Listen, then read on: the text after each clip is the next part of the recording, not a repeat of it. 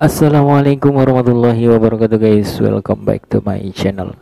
Oke teman-teman semua di sini uh, kita akan bahas Satoshi VM. Jadi buat kalian yang kemarin itu udah join di testnetnya si Satoshi VM, kita berharap semua mendapatkan alokasi airdrop ya teman-teman semua dan kabarnya ada info terbaru nih tentang alpha mainnet di Satoshi VM. Jadi buat teman-teman semua yang baru gabung jangan lupa kalian like dan subscribe channel ini. Pastikan kalian selalu riset secara mandiri dan juga disclaimer video ini hanya bertujuan untuk informasi dan edukasi. Bukan ajakan untuk investasi, guys.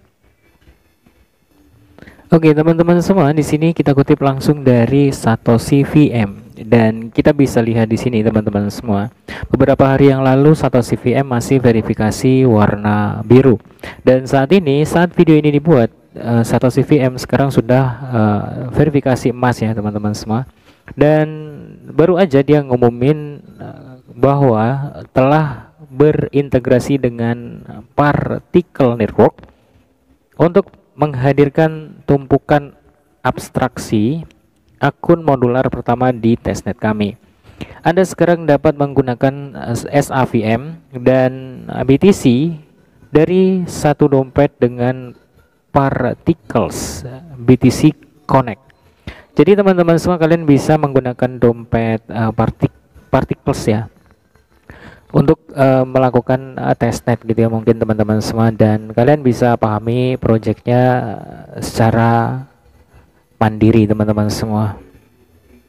Selanjutnya teman-teman semua jaringan utama alpha. Kurang dari tiga minggu hingga mainnet alpha kami diluncurkan dengan pertukaran asli. Peminjaman jembatan staking hadiah WBTC ekosistem airdrop dan selanjutnya ada penerapan token 30 detik dan masih banyak yang lain Hitung mundur dari tanggal pastinya akan segera dipublikasikan. Jadi teman-teman semua baru aja diupdate uh, beberapa hari yang lalu ya. Nah di sini uh, dari KT Startup ya teman-teman semua uh, diumumkan juga. Di sini ada airdrop, jadi teman-teman semua bisa mengikuti kalau misalnya kalian punya akun GT. Jadi di sini ada claim now, jadi startup di kode 1215 ya untuk addressnya. Gat.io slash startup slash 1215 jadi kalian bisa mengikuti airdrop mungkin ya di sini teman-teman semua dan total airdropnya itu sekitar 40.000 US dollar. Jadi subscription di jam 7 AM tanggal 29 2023 ya di sini uh, pada tanggal 1 Maret di jam UTC jadi teman-teman semua kalian bisa mengikuti airdrop ini mungkin gratis ya teman-teman semua kalau dari gat.io dan kalian bisa langsung cek aja di akun kalian teman-teman semua.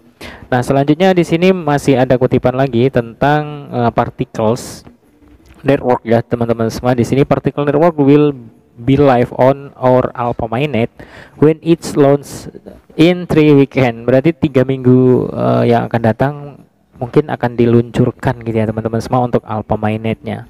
Jadi uh, selanjutnya di sini teman-teman semua diposting juga sama particle uh, network uh, di sini kami membawa abstraksi akun ke Satoshi VM BTC Connect protokol AI utama untuk ekosistem Bitcoin.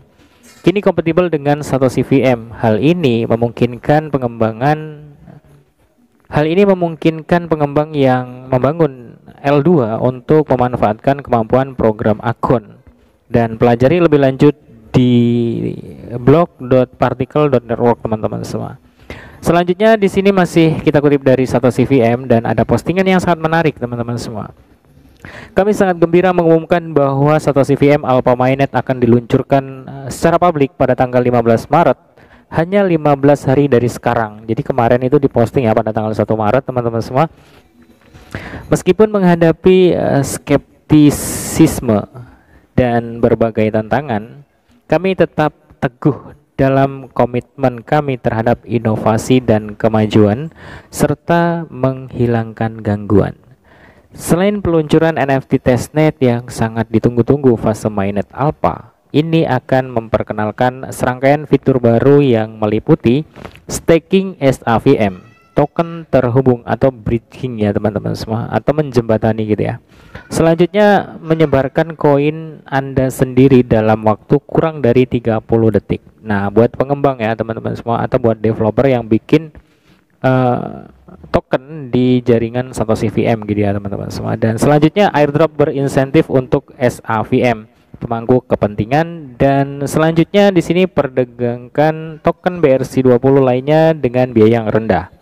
Dan masih banyak yang lainnya, teman-teman semua di sini akan meningkatkan pengalaman pengguna dan memperluas kemampuan ekosistem kami.